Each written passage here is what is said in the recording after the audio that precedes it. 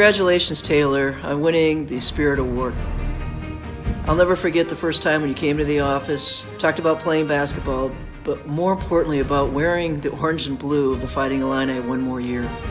Your work ethic, your integrity, your character added so much to our program.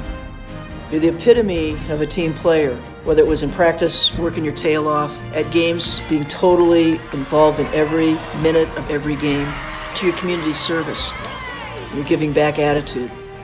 We are a better team because you are part of us. You are a true fighting Illini, and you're just getting started. Congratulations, Taylor.